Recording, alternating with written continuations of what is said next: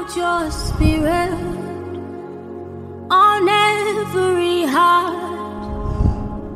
You sent forth your word, and it's come to pass. What our fathers and mothers